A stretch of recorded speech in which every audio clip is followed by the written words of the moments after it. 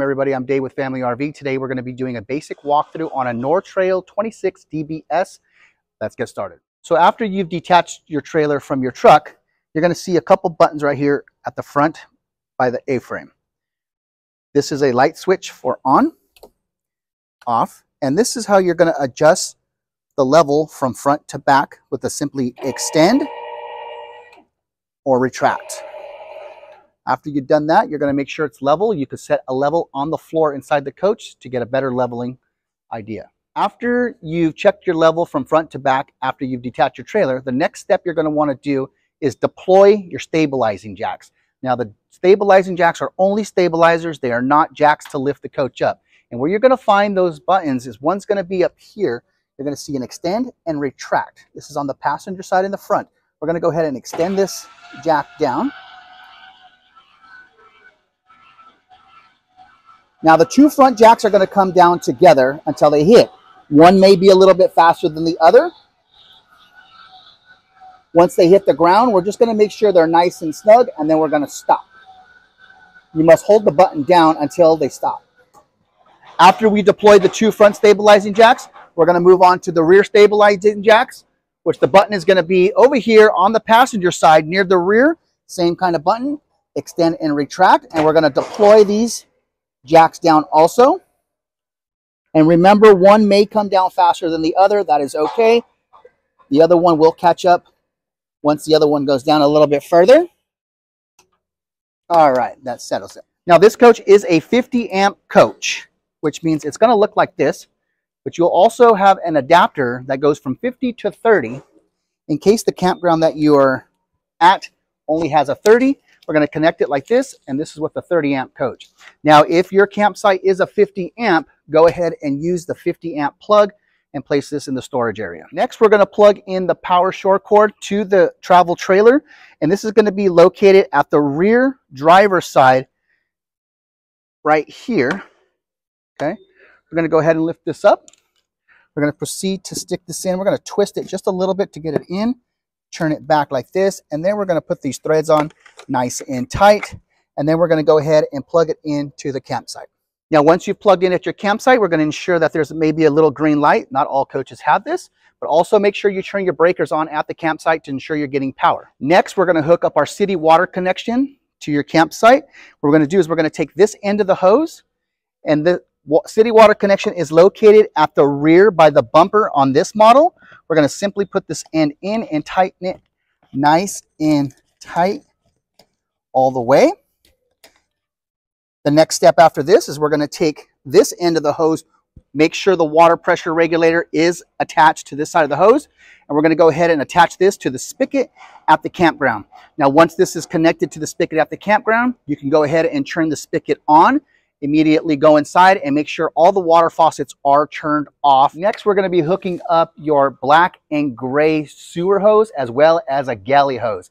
Now, this model has two exits in the rear and one exit in the front. The front one is for the galley, which is the kitchen sink, and the rear one is for the bathroom shower and the toilet.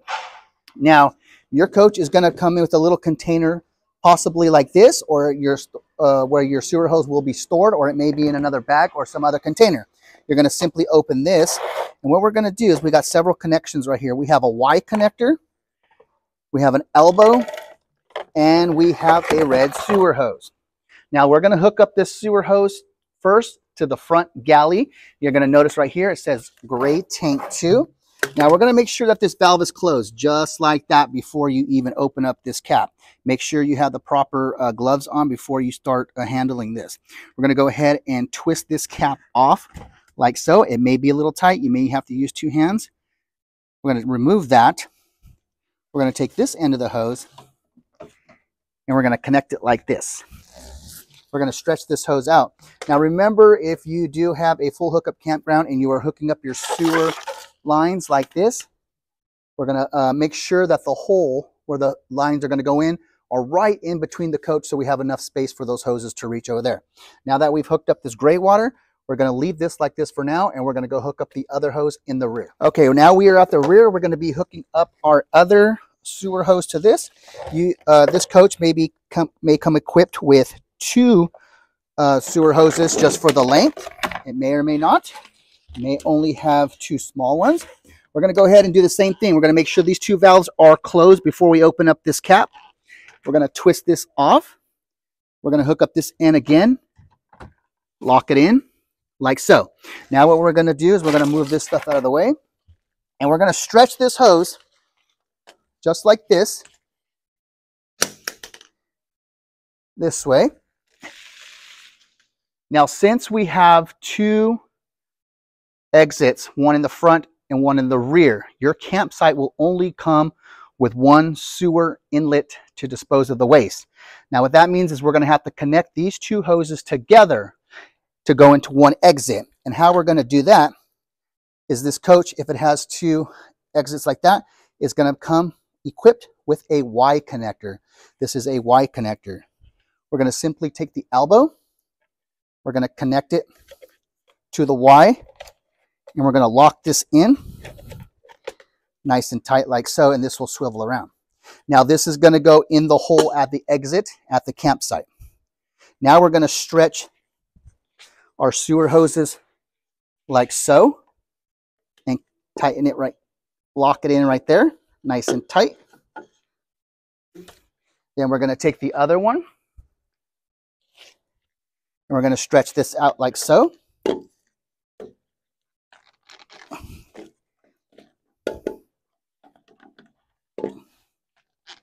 And we're going to lock that in like so. Put this in the exit. Now your sewer lines and your galley line are hooked up together and can exit through one hole. Now, once we've hooked this, these sewer hoses up, we are going to leave the valves closed. We do not want them opening. We only want them open once your tank levels reach to two-thirds or full. These are gravity-fed tanks. We want them to fill up first. Once they're full, you pull the valves to exit out. Pressure and will push everything out. All right. So now that we've leveled our travel trailer front to back, we deployed our stabilizing jacks in the front and the rear, and we've hooked up our sewer, electrical, and water. We're going to move inside now, and we'll start moving on some functions. At the entry door, you're going to see a handle like this. You're going to simply gently push the handle up if it's closed and turn it just like that. Next, we're going to use the purple key to unlock the entry door. Now, this purple key is going to be used for both locks. One's a deadbolt and one's the handle lock. The purple key will unlock both of these on the handle. We're going to simply open this guy up and we're going to push this door all the way like this. And the reason why we're going to do that is because these steps are going to come down and we don't want it to damage the screen. We're going to simply get this blue tab right here. We're going to pull it towards us, grab the handle, and slowly pull down the steps like so. Now, if the steps are not level like this and it's up a little high like this, you can adjust the feet with this little lever right here. Simply push that in like so, and you'll be able to adjust the feet on both sides if they need to be adjusted. Simply put this down. Now we're going to make our entryway in and we're going to open up the slide. All right, we're going to open up the slide, but first we're going to turn on some lights. Right here on this coach, there's a couple switches on and off, and there's your light switch. We're going to come on here and here a little bit, and we're going to take a look at some of the slide buttons right here. Not, not, not every coach slide buttons are in the same position. They may be on the different wall or something like that. This one is located near the TV on the wall right here, and you're going to see a button that says slide room in and out. What we're going to simply do is we're going to hold down the arrow where it says out, and we're going to open up the slide and wait for it to stop by itself.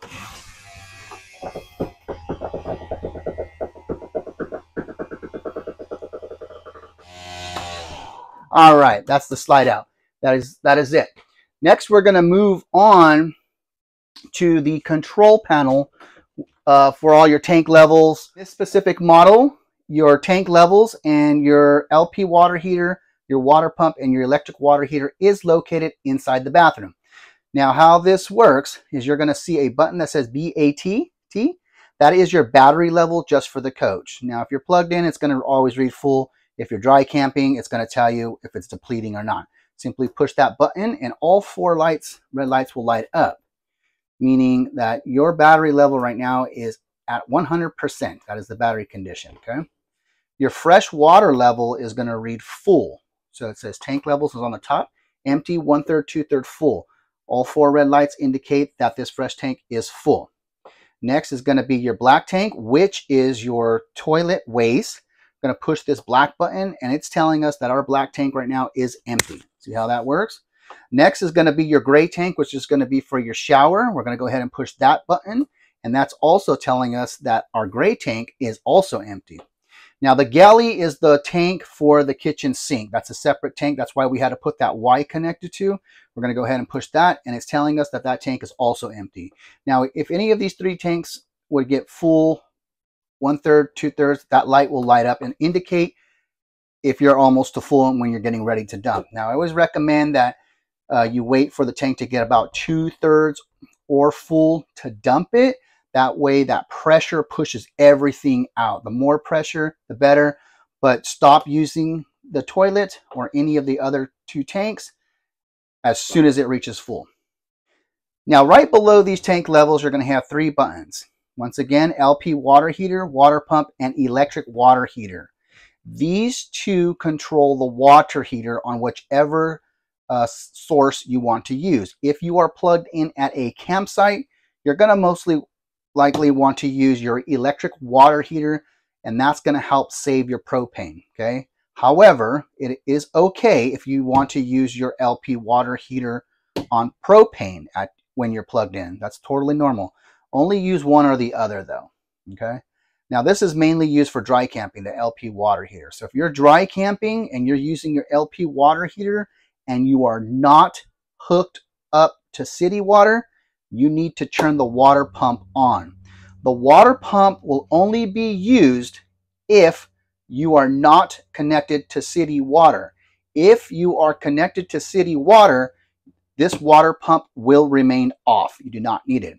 Now, in, to make sure that anytime you're using the electric water heater or the propane side, whichever you're using, give it about 20 to 30 minutes. It's a six gallon tank, so be aware of that. The longer the showers, the faster the, the water tank's going to drain and the less hot water you're going to have, if that makes sense.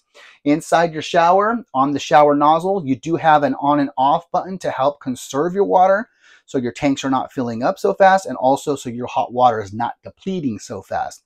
It's kind of like a military style shower. You're going to want to hit the, uh, turn the water on, rinse off, hit the button to stop the water, lather up, rinse off, and that's going to help ensure that everybody gets a nice hot shower. So here's a demonstration. We're going to turn the water on and the water is running. We're going to hit this lever right here to turn the water off. Now that just helps save filling up your tank so fast if you're dry camping and it helps ensure that you, you have enough hot water for the whole shower. Go ahead and turn it back off when you're done. Always remember that it's always good practice when you're not using any of these functions and you're traveling, make sure that all these are turned off. Next, we're going to move on on how to operate the uh, stove top. Now, uh, the stove top may be equipped with the glass top. If it is equipped with the glass top, you're going to make sure that this glass top is always up. It's going to act like a little as a backsplash. Do not turn on the burners with the glass down. It will shatter the glass. Once you do that, you can go ahead and see the dial right here. There's a little notch that says off to light each individual stovetop. It's just kind of like at home.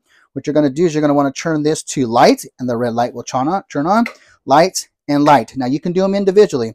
Now once you do that, you're going to make sure that you ignite this and turn the ignition count uh, turn it clockwise okay? Now it's not going to ignite right now because we have the propane turned off but if the propane was turned off it will light every burner. Uh, same with the oven down here.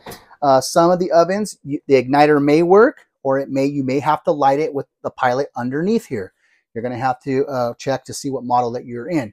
To light the oven, you're going to go ahead and same thing. You're going to turn this to pilot. You're going to push it in like so, so the uh, propane can come out, and then you'll light it safely underneath there. Once it's lit, you can turn it to whatever temperature you desire. Now, once you turn it off, the pilot light will go off. Now, remember, once you are done using the cooktop, leave this glass stove uh, glass up. Do not put it down until the stove cools down because it can still shatter. Once it's cooled down, you can go ahead and close this and you're good to go. Above the uh, uh, stove, you're going to have a light switch and a fan switch right here. Right above the uh, stove and the stove top, you're going to have your microwave right here. And we're going to move on next. We're going to move on over here to the uh, air conditioner control and the furnace control. It's going to look like a square like this. And what we're going to do is we're going to go ahead and just tap the mode button. There's only three buttons on here, mode button and the two arrows. We're going to gently, you don't have to push it in, slide it like that. It's going to say off, and then we're going to keep hitting the mode button until we get to the setting. Now, if you're running the air conditioner, you're going to always want to have it on auto. If you put it on fan, only the fan will work. It see it says uh, it's a fan high, fan low. If you have it on fan high or fan low, it's only blowing air. It's not going to be blowing cold air. In order to have the AC running, you want to have it on auto. You can adjust the temperature slightly like this. This is already turned all the way down. So you just gently rub it like that and it'll go down. Now if you want the furnace on, you're going to go ahead and lightly tap it and we're going to go to furnace. Now the air conditioner is still running. We're going to give it a second and it's going to turn back off and then the furnace will kick on just like so. Same thing, just like your home, you can adjust the temperature right here.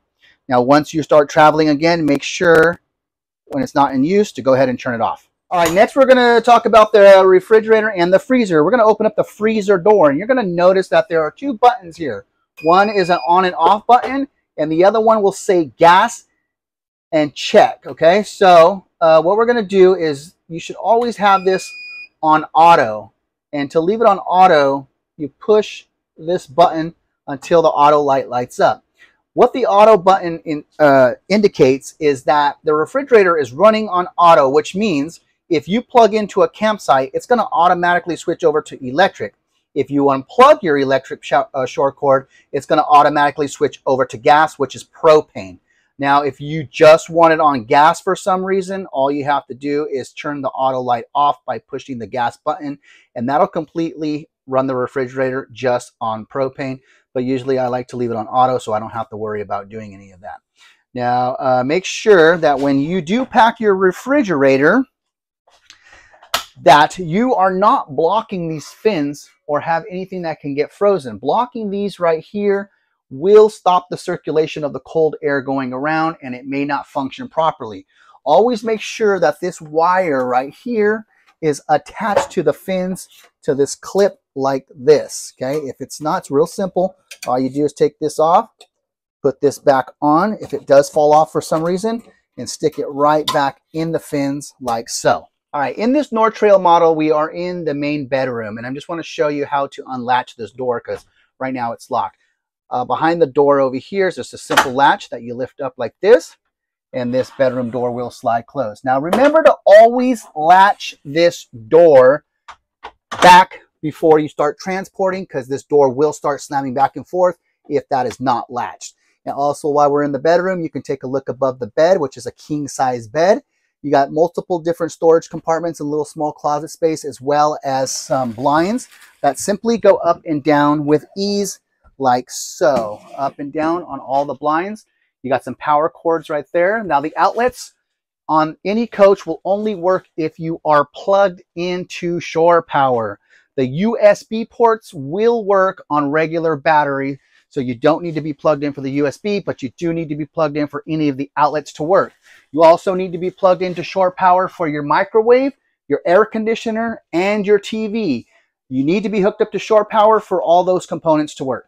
All right, next we're going to come back into the restroom and we're going to show you a few things in here. Now you do have an outlet, uh, electrical outlet right here, which is a GFI protected. So let's say you're plugged into your shower power and you plug something in, but you plug it, you plug it into your outlet, it's not working. The first thing you're going to want to do is you're going to want to come check to see if your GFI breaker is, is tripped right there, okay?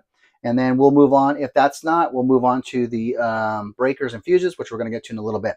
Next is just your, um, your sink for your bathroom. We're going to turn the water pump on. So this is one thing that you're going to want to make sure is turned off before you hook up your city water connection or turn on your water pump. Always make sure that these faucets are closed and always make sure that this drain plug is not plugged where it can fill up water and accidentally spill over. Next is the toilet right here. We're going to go ahead and lift this. And you're going to notice that there's a foot pedal right here. All you got to do is you're going to hold that down and you're going to flush. Now, uh, some toilets have a half step where you can half step the step and it fills the toilet up with water just like a regular toilet. And when you're done, you can go ahead and flush it down. Always remember to use RV marine toilet paper when you're using a travel trailer or a motorhome to ensure that your tanks are not getting clogged and everything gets cleaned out properly. Right above your toilet, you're going to have a vent. Now come on over here. We're going to take a look at this vent on how to open it. We're going to pull this handle gently. We're not going to pull too hard, just gently, and we're going to open up the vent. Right over here is your fan switch. We're going to go ahead and hit that, and we're going to make sure that all air gets out. Now, when you are traveling, make sure this fan is turned off. And when you are traveling, always make sure your vent covers are closed to ensure they don't get damaged. Next, we're going to move over here to the shower. We've already uh, told you how to turn this on and off with the handle. Now, the shower door, we're going to go ahead. It's just a little film. We're going to go ahead and it's going to lock in like so. Be very gentle with this film right here while hitting your elbow or taking a shower because it can damage it. Now, as I talked about earlier with the GFI and the other breakers, these breakers in this specific North Trail model are going to be located right below the fireplace, and we'll talk about that right now. You're going to simply push that door open like that and you're going to locate all your breakers and all your fuses that are right here. Now normally if a fuse goes out a red light will light up and that is not the case for every um, fuse box. Uh, if something does not functioning, this is one of the first things you're going to want to check to make sure none of these breakers trip. Now breakers can trip if your electrical uh, power grid at your campsite is not functioning properly, so be aware of that. It's not always the coach, it could be the campground and also campground uh, electrical camp pop facilities sometimes when they're not properly installed at the campground. Uh, right above that, we're going to have the furnace. Now, this is a, an electric furnace, okay? So there's a button right here. We're going to go ahead and turn it on. Now, you can just use it for ambience or you can use it to uh, heat up whatever you want. And right on here, you'll see some controls on how the temperature. Uh, it'll say right there, L1, uh, F1, F2, and uh, in the owner's manual, you will you'll be able to read on what those functions are. Right above that fireplace, electric fireplace, we're going to have the radio, simple radio, just like any other radio in a vehicle or at your home. You'll have zone one and two. We're going to power this guy on.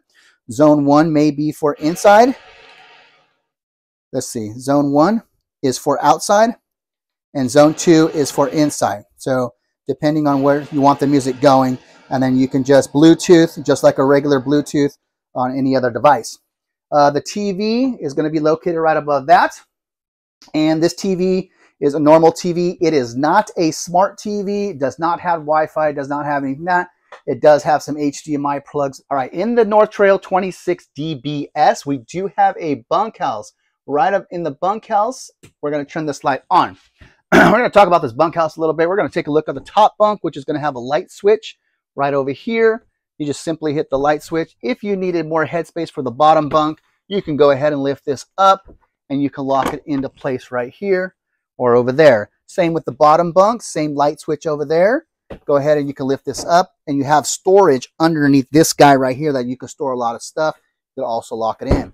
Now this room, this bunk room, also has a door. Now to operate this door, right now it's gonna we're gonna build a wall. It's all together. We're to unlatch this. and what we're to do is we're to unlatch that. And what it's to do is it's to open up this door, unlatch that. But we're to have to come on over here real quick. Once we unlatch that, there is a latch behind here. I don't know if we can get that in there. Right here. We're going to pull that down and this whole thing is going to move. Now what we're going to do is we're going to come back swing it this way. And now we're going to latch it in right there and turn it. Now we have just locked in the wall. Now this whole bunk room has all the privacy that it needs. Come on out over here and we'll show you what it looks like out here. There you go. And what we're to do is we're to break it down we're to, when you're traveling, you're want to put it back into the lock position closed. So what we're to do is we're to unlock this wall again, pull it down, swivel it back this way, lock it in up to the ceiling like so. Now that wall is locked in. And now we're going to make sure that we latch the door with this strap again right here. Make sure that's strapped in before transporting. All right, in the dinette area, we do have a light switch for the dinette light.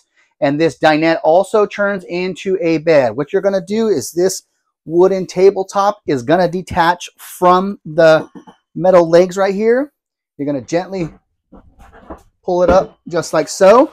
One leg may be attached. All we're going to do is gently take this off, set it right there. We're going to wiggle this around, take that off right there.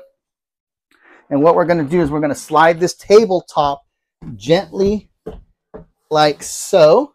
And what we're going to do is we're going to use the cushions, this cushion, and you can use these small ones right here, however you prefer, whichever which configuration is going to fit best to make a bed. Now, when you're putting it back together, simply push the cushions back in reverse. Everything's going to go in reverse mode now. We're going to gently take this off, set it down like so, put the post back in the holders like so. And we're going to line them up and we're going to make sure it's secured back on.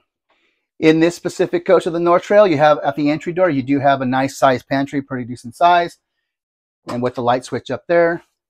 And then right over here, always look inside the coaches for any kind of QR codes that may be useful to you. A lot of these coaches have the QR code. This one has a QR code for the owner's manual. If you don't see the owner's manual in any of the cabinets, always try to look for one of these and read the labels. Next, we're going to pull out the awning. Make sure you are clear of any trees. Before you pull out the awning, make sure it is not windy and make sure it's not pouring down rain because it can damage the awning. Next, next to the slide out button, you're going to see the awning button. Same concept, in and out. You're going to hold the button down until the awning fully extends when the flap comes down.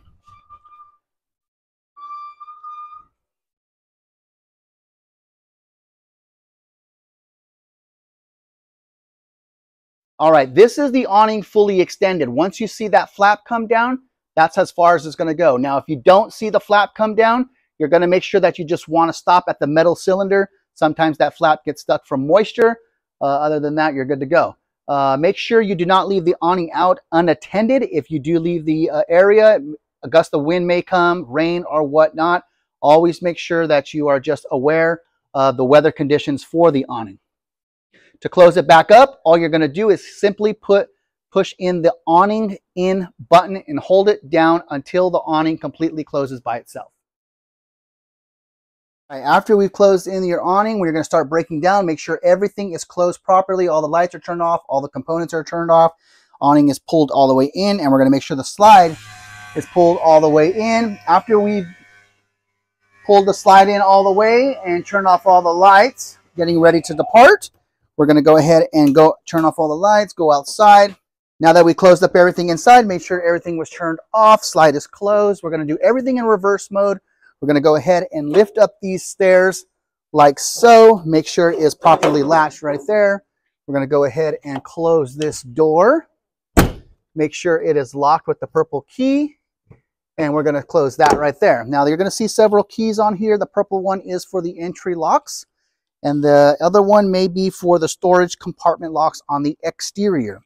Now, once we've uh, closed up the side, like I said, and everything is turned off, we're going to come back over here. Make sure that you've turned the water spigot off to release the pressure for the hose. We're going to go ahead and detach your water hose like so, and we're going to put it in the proper storage in the storage compartment in the front of the travel trailer. Next, we're going to go ahead and detach our shore cord like so. We're going to remove it like that, put that down. We're going to roll it up. We're also going to detach it from the power line at the campsite and store it in the proper storage compartment over here. Make sure if you do have an adapter on your 50 amp plug that you do not forget that adapter. Always make sure all the adapters are equipped with it. Next, we're going to come on over here and we're going to uh, disassemble our sewer lines and our galley and gray tank lines. We're gonna always make sure that we have some gloves on to ensure that we're not getting messy or any kind of contamination. What we're gonna do is you're gonna make sure that your valves are closed. Push them in. Don't assume that they're closed. Don't assume they look closed. Make sure you push them in before you detach the hose. Now, remove that and we're gonna immediately cap it on. And we're gonna come over here to the other one. We're going to remove that and we're going to immediately, we close that, cap it on, and then we're going to store the sewer hoses in the proper containers. Also remember that when you do dump your black and your gray tanks, make sure you pull your black valve first. Then you pull your gray. The gray helps flush out the hose after the black water is in there. Now, before you start moving the front jack to hook it up to your truck, you always must remember to retract your stabilizing jacks. These have to go up. Do not make any movement to the front jack until these jacks are up all the way. All right, that's all the way up. You're gonna come to the rear over here, hit the retract button and retract the rear sta power stabilizing jacks. Once your rear stabilizing jacks are up, then you can proceed to push the travel trailer up to hook it up to your ball and hook up the safety chains uh, to uh, the truck for proper safety. Now, one thing I want to mention is you're going to notice in the front there is a plastic container right here. These are two propane tanks, okay? Now, both of these tanks will be full, and to turn them on, you're going to simply open up the valves like so. Now, uh, this arrow is going to be pointing to this tank, which means if you're using propane, it is feeding from this propane tank. If this propane tank goes empty, you're going to simply get this lever and point it to the other propane tank and open up the valve right here. And then that gives you enough propane to go fill this one right here. Uh, make sure all this is all tightened. If you do take these off, make sure they are back in order and properly secure before you start traveling. Thank you everybody for watching our basic walkthrough with the North Trail 26DBS. We hope this video was very helpful for you. If you have any other questions, please give us a call at 408-612-4700 or check out our website at www.familyrv.com. Take care.